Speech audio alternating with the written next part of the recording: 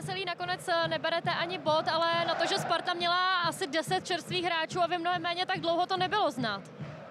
Nebylo. Uh, já jsem hrdý na svý hráče, jaký utkání odehráli, já jim za to děkuju a Spartě blahopřeju, že vyhrála.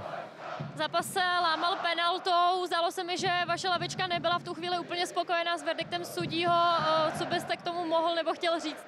Nic, já se přečtu nějaký, nějaký rozhovor s panem Kovaříkem, kde to všechno vysvětlí a nemám. Když písknul asi byla, tak my, abychom tady uspěli, musíme vstřelit branku a nenabízet takovýhle, takovýhle situace, kde pak dáváme možnost, eh, aby ta penalta byla, ale budeme to dělat u sebe, máme vstřelit branku, aby jsme to tady víc stížili soupeři a bez branky je těžký někde uspět. U té situace byl zkušený hráč, jak moc vás to mrzí po tom, co aktivně a u té penalty, Aha.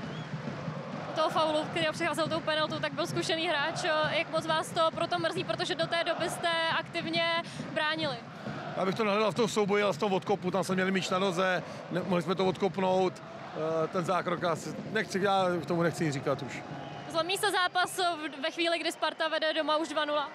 Tak to už je jasný, že i v našem stavu eh, personálním pro tohle utkání už nemáme patrony s tím cokoliv dělat. Máte za sebou eh, tři těžká derby během jednoho týdne. Jak sám říkáte, předvedl jste, předvedli jste i dobré výkony a předpokládám, že jste z toho chtěli vytěžit víc. Určitě chtěli jsme vytěžit víc. Myslím si, že minimálně v těch posledních dvou zápasech jsme měli na to, abychom postoupili v poháru, anebo abychom, eh, abychom tady si něco odvezli. Děkuji vám za rozhovor. Naschle. Děkuji.